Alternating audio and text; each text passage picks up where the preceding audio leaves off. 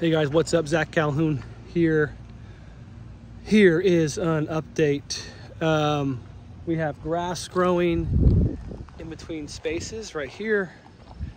And of course we have people coming to stay all the way to the very back of the park. There is occupied people and tenants. So now our main focus becomes to fill the park up. Uh, what we're doing, how to do it. Um, even Amazon trucks are coming in. Uh, in our in our office, which is way down here, we're gonna have some laundry. That's our next thing. We're actually gonna be releasing and renting the laundry space and doing a rev share, which I'm really excited about. Um, in general, everyone's walking up to us that talks to us, hey, love the park, looks really good, no complaints. And uh, that's all we could ask for. So really, really cool.